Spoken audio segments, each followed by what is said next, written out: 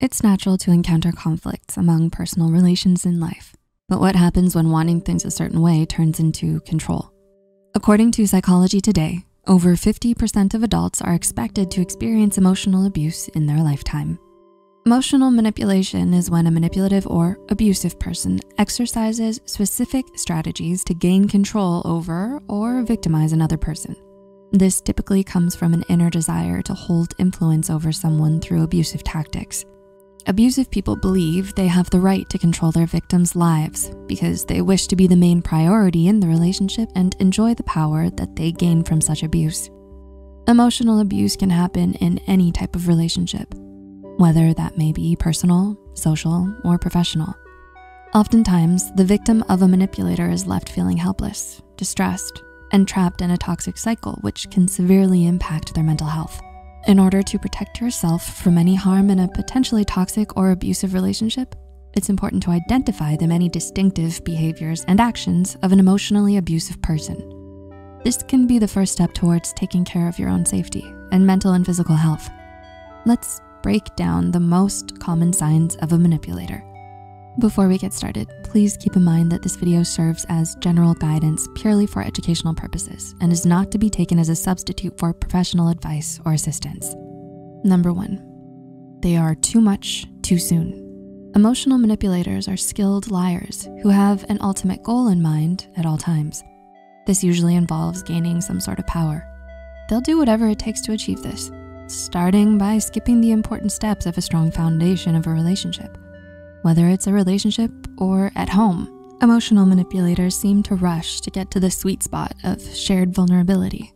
Have you ever heard of the term love bombing?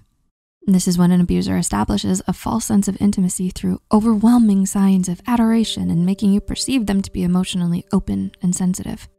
Dr. Suzanne Degges White, licensed counselor and professor at Northern Illinois University, explains that when the narcissist uses this strategy, they do so to capture their prey before the prey gets too wise to the game. Their narcissistic tendencies cause them to mirror your desires well, allowing them to create a persona of who they want you to believe they are.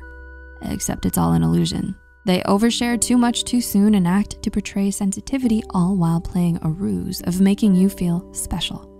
This makes the victim feel as though they've made it into the exclusive inner circle of the manipulator, gaining their concern and sympathy while making it so that the victim is now responsible for their feelings.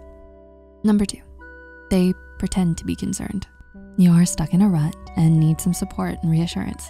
Your manipulator will initially display a sense of eagerness to take action and help, but this energy will soon turn into reluctance and indifference towards your situation.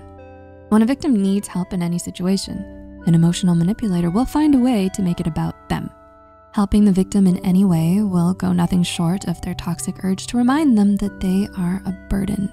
Emotional manipulators can pretend to be concerned about their victim only when it's convenient to them, and that's as far as they'll go to show care for anyone. Number three, they refuse to help resolve problems.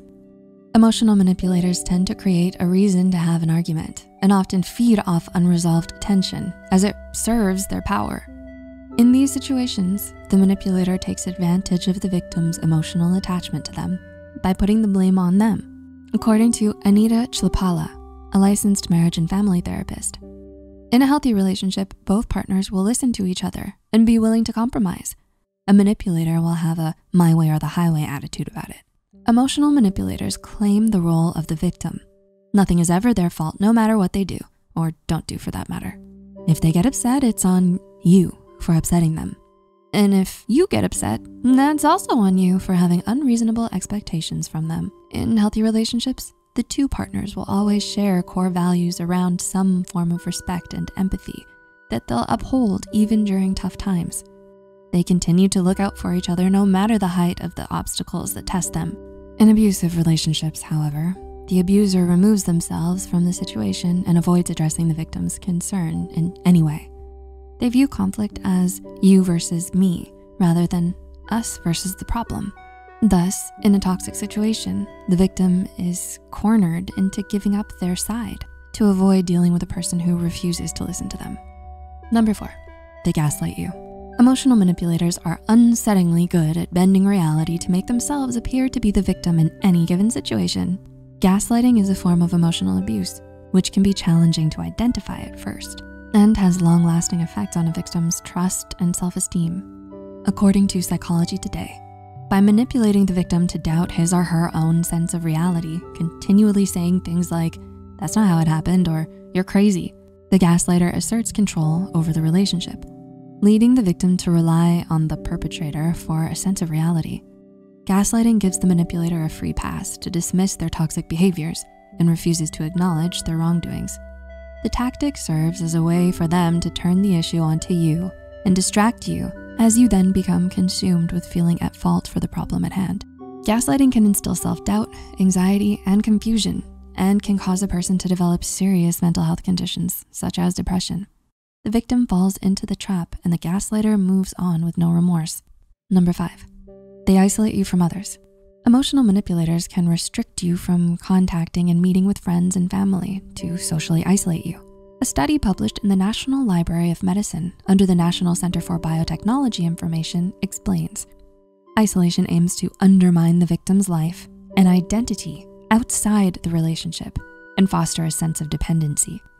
This can look like them stopping you from hanging out with your friends, going home to see your family, or hanging out with anyone they don't feel particularly comfortable or close to. They fear that you spending more time with others might reveal the truth behind what's happening behind closed doors. Through constraining your social circle and support, emotional manipulators gain control over your contacts and connections, so they can ultimately gain more control over you. The more severe the isolation, the more severe the abuse. Alternatively, victims can be influenced into self-isolation due to the fear of retaliation, coercion from the manipulator, or an attempt to stop the abuse altogether. Number six, they know your weaknesses and can use them against you. Emotional manipulators are highly aware of their victims' weaknesses and are always on the lookout to use them against them. This abusive tendency stems from their own narcissism and deep-rooted insecurities, which they project on you. They prey on your vulnerability by highlighting your shortcomings and live on putting you down and wearing you out. Professor and author of Communication Success with Four Personality Types and How to Communicate Effectively and Handle Difficult People, Preston Ni, explains some manipulators like to make critical remarks, often disguised as humor or sarcasm, to make you seem inferior and less secure. By making you look bad and making you feel bad, the aggressor hopes to impose psychological superiority over you. For instance, they may notice that you're struggling with a pressing insecurity. So they might use this against you by pointing it out or drawing attention to the thing that makes you feel the most vulnerable in, say, a social setting. With this psychologically damaging behavior, an emotional manipulator's greatest satisfaction comes from seeing their victim fall. This feeds their ego while they continue to destruct the victim's self-esteem by making them feel flawed or less than. And number seven, they guilt trip you. Emotional manipulators can use your guilt against you to get their desires met. Founder of Take Root Therapy, Saba Harouni Lurie, LMFT, explains how the manipulator can take advantage of the victim's past wrongdoings, personal flaws, and even skillfully influence you to feel a sense of obligation towards them for anything they might have done for you in the past. This helps them gain more control of the victim by exaggerating your guilty conscience and causing you to feel responsible to put aside your needs and favor their preferences instead. Emotional manipulators use guilt as a tool to wield their victims' actions and motivate them to disregard their personal desires so they can stay dominant. Their game runs on making you feel dependent on them so they can sustain their control over you. And the issue is, they tend to be so good at it that you end up questioning your own sanity. Emotional manipulators can be difficult to deal with due to their unpredictable and irrational behavior. They can undermine your sense of identity and individuality you may feel like there's no way out from the chaos and toxicity, but once you understand an emotional manipulator's tendencies, you can begin to proactively set stronger boundaries to protect yourself from this person. While you can't control the actions of them, you can set limits in place for what you personally will not tolerate from an emotional manipulator. When they cross the line, it's time to have an escape route planned to get away. You need to distance yourself from this person for the sake of your own safety and well-being. Dealing with an emotional manipulator can be a challenging process. So it's even more important to stay in close contact with trusted friends and family as you navigate through this. If you or someone you know is experiencing any form of abuse, Please refer to the resources below for more information or assistance.